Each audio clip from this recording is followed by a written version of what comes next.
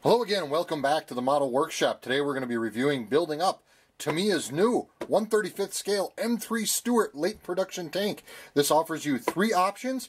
You have two Russian options and one US option. So let's take a look at everything that's going to be inside the box before I get the pleasure of gluing everything together.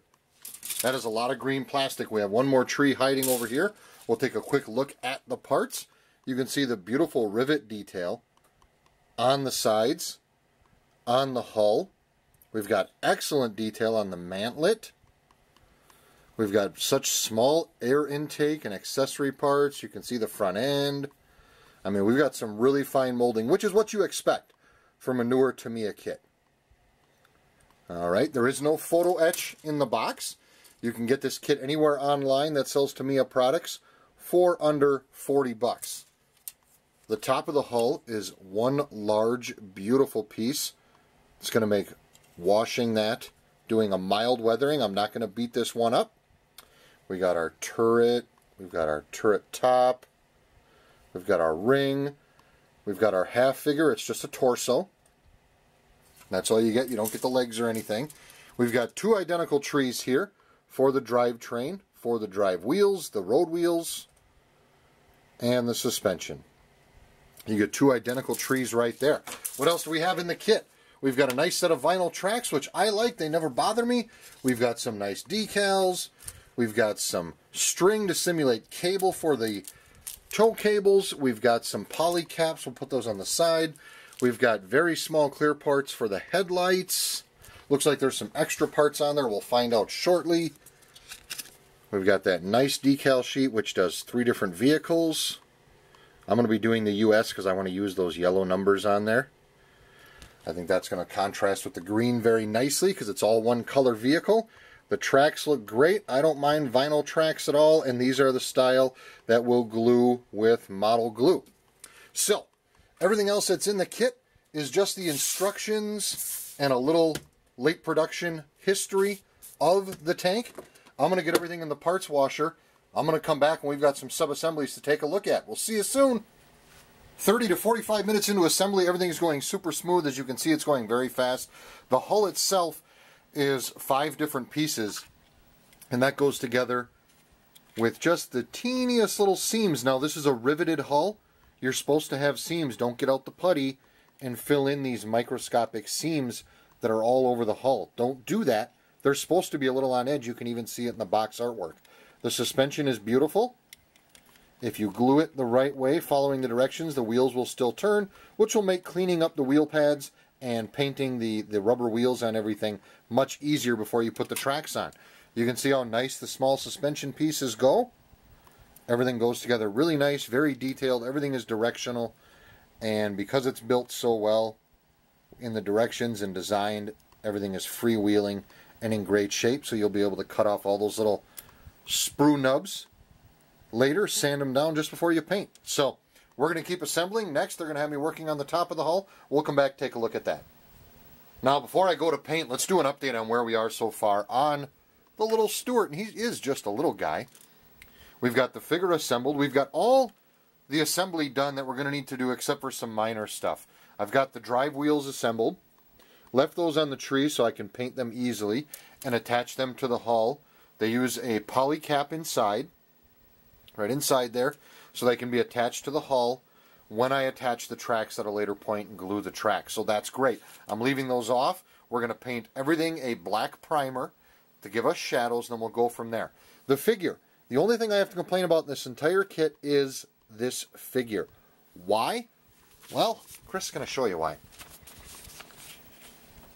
His head is one, two, three, four, five, six pieces. And they are so small. I I don't get I don't understand it, but I hated it. That took me 25 minutes alone to get the helmet all put together and with the glue it's a little, you know, it's a little off, but it'll be all right with some painting and detailing.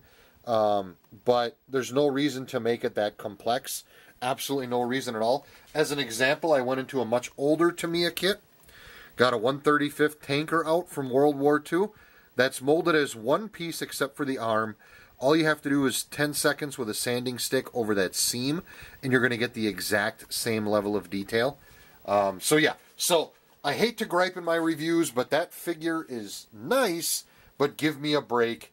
Six pieces for the head, that's insane. They do the same if you want to do the Russian driver. He's got three pieces just for that hat.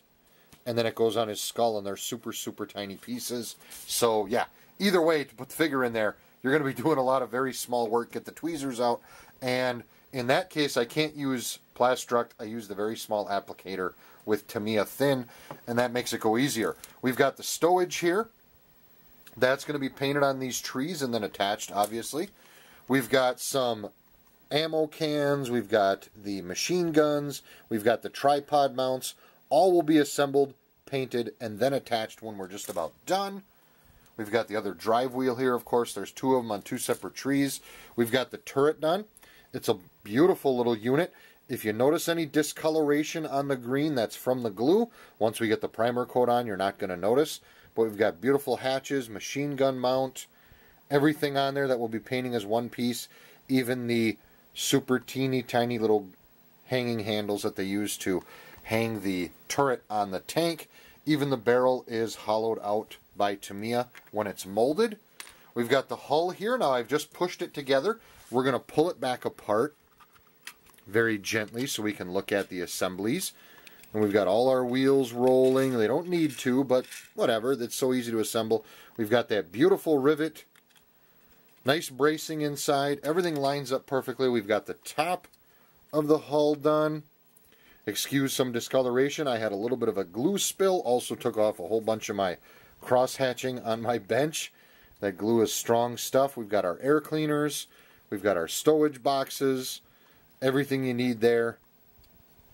All set. We've got the individual pieces of armor that glue on. So you have that rivet detail. And then we've got the front end with the headlights and everything.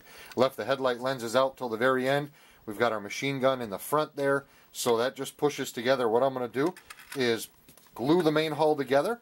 We're going to leave the turret separate. We're going to leave the figure. We're going to take this all over, get a coat of black primer on it, and on the hull and the turret, I'm going to get a little bit of highlights with some white paint. Then we'll start going over it with the olive drab. Just before I'm ready to shoot the olive drab, we'll come back for another look. Working on the primering and the accent colors before I lay the base coat. The base coat, of course, is going to be an olive drab green. I haven't decided if I'm going spray can or airbrush. That'll all be decided. What I use to do this is I prime the vehicle with just a standard black automotive primer, $3 can from O'Reilly's, CarQuest, Advanced Auto, wherever you want to get it, it doesn't matter. Prime it all in black. I primed the turret in black as well. Then, I also primed the vinyl tracks with a red primer to give me that undercoat of rust look. Then we'll be doing some black painting and washing and green painting on the on the side teeth of the tracks, the guide teeth. So we'll be doing that. The figures, everything back here, little Mr. Uh, figure here, he's all painted in just a, a, very easy base coat of black. He's ready to go. You can see the bottom still green because you're never going to see him from the bottom up. But the tank itself has been painted black and then highlighted with white where I want to show just a little bit of fading. How I do that, I've gone over that in other videos, so we're not going to do it on camera, but I take my trusty 20-year-old Tower Hobbies brand double action airbrush, and, you know, these things back in, they're like $30 back in the day. Comes with like three needles. They were really nice if you could ever find these Hobbico brand ones from Tower Hobbies from back in the day. All the same parts that Iwatas use. These were identical. They just cost much less. And my Harbor Freight air compressor set to 10 PSI. Just 10 PSI. All them fingers 10. 10 PSI. I use white craft paint. And the exact paint I use, if you want to know, is Ceramcoat White. It's a very nice white paint with very thin pigments, so it sprays super easy. 10 psi, mixed 50% water and yellow washer fluid for your automobile, or blue washer fluid for your automobile. Just a cheap $1 bottle, all right? Mix that up, put it in your paint cup, take it and just bring your full air pressure on, and this, of course, does your paint. All you, all you need to do is just bring it back a little bit, do a little bit of a test, around it to see how much paint's coming out. And you can draw very closely, really fine lines. If you notice that you're splattering your paint a little too much, drop your pressure down. Maybe you only need 5 psi to get that paint to come through. It all depends. Anyways, I highlighted my areas. Now, all I got to do is do my base coat, which I'll be doing next. So I want to give you a look at that. That'll give me some darks and lights. The black will give me my shadows in the dark areas. The white will decrease the thickness, the color of the paint appearance in the higher areas. So that's why I did the more exposed areas of the suspension, the riveted areas, the corners, and some of the proud areas. Same thing I did on the turret back there.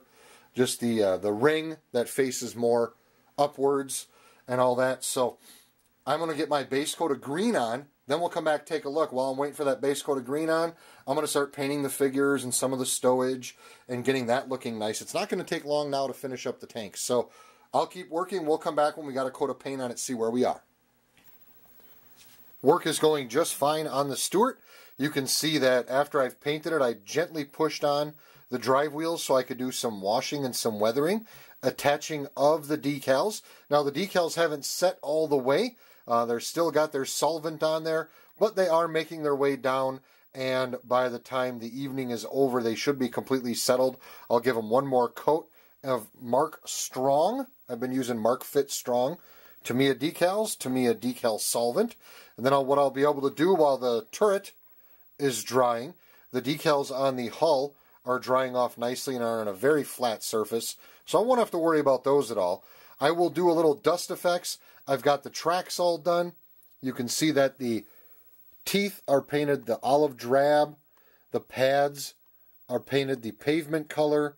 And then when we primed with that red, gives us a little bit of a rust effect. The commander is ready to go.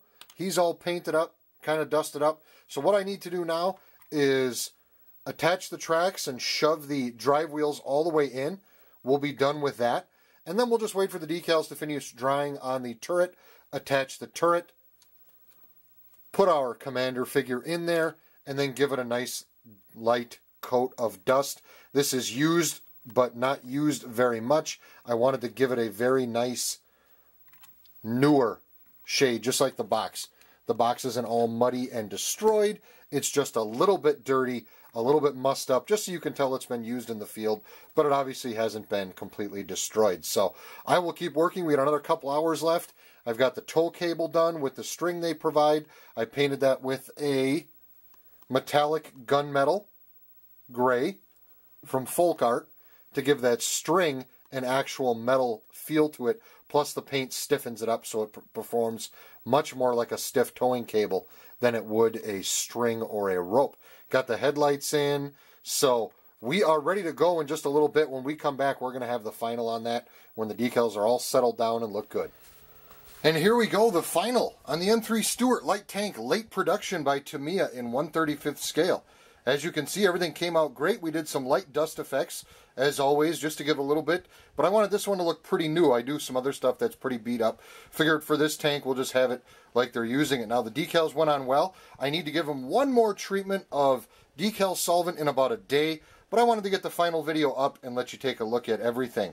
I did do some very mild customization, such as the antenna, the dust effects, painting the steel cable, mounting it in a slightly different location. They wanted you to run it all the way to the front. I mounted it a little bit higher on the on the hull there, and uh, painted the figure so it all looks really really nice. The kit goes together pretty well. I did show you the the multiple pieces on the head. They also do that with the machine gun mount. I'd rather see those in one piece, but whatever. You can muddle through it. You can get through it. I like the drilled out barrel from the factory. I like the small clear lights on there and the option to build it as a Russian tank or an American tank. I did add the little wire antenna on there, just a little more visual interest, but other than that, just some very minor weathering off the fuel tanks there, like it had been used for a little bit, but hadn't seen a lot of heavy duties. So that is it. It looks great. There'll be a short slideshow at the end so that you can see a little more detail, a little more crisp than the video can bring out. And we will see you at the next review. As always, thanks for watching the workshop.